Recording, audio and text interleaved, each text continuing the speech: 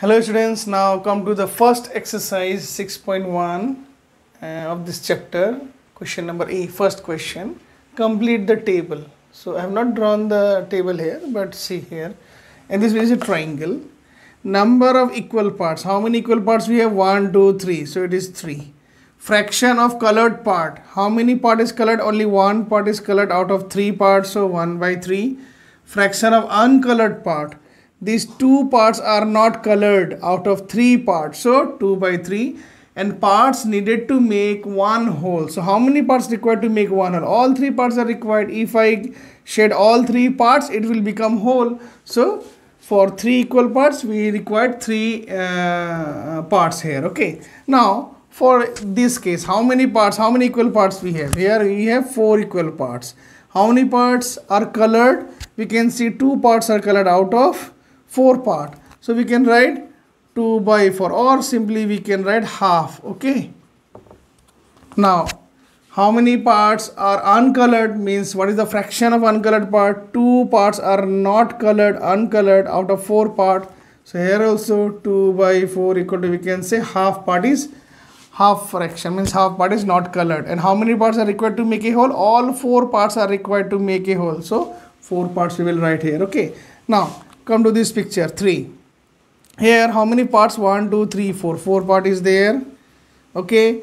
And how many what is the fraction of colored part? Only one part is colored so 1 out of 4 so 1 by 4 and how what is the fraction of uncolored part? Three parts are not colored out of four parts so 3 by 4 we will write 3 by 4 and how many parts are required to make a whole all four parts are required. All four if i shade it it will become a whole so all four parts okay? Now come to four parts. Question number four. How many parts we have? One two three four five six seven eight. So total eight part is there. What is the fraction of colored part? Three part out of eight part. So three part out of eight part is colored. What is the fraction of uncolored part? So uncolored one two three four five. Five are uncolored. So five out of eight so 5 out of 8 is uncolored. And how many parts are required to make a whole? See, we need all the parts. If I shed all the parts, it will become whole. So 8 parts. So it is 8 here. Now again, in question number 5, see. Here also, how many parts we have? 1, 2, 3, 4, 5, 6, 7, 8. 8 part is there. So 8 equal part is there. How many part is colored? See, 3 part is colored. So 3 out of 8 will be the fraction of colored part. 3 out of 8 and what will be the fraction of uncolored? 1 2 3 4 5 so 5 by 8 will be uncolored. And how many parts are required to make a whole? So all 8 parts should be shaded. So 8 parts are required. So we'll write 8 here.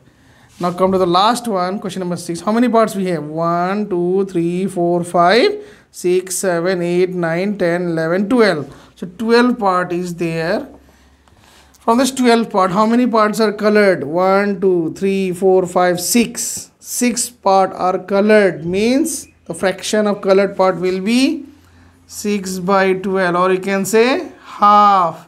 6 1 is 6, 6 2 is 12. So half part is colored. What fraction will be uncolored? See uncolored is 1, 2, 3, 4, 5, 6. For here also 6 by 12 that is half. And how many parts are required to make a whole? So all 12 parts should be shaded out. So we need 12 parts. So 12. So, so I think you have understood this part. Question number A is very simple and clear. Thank you.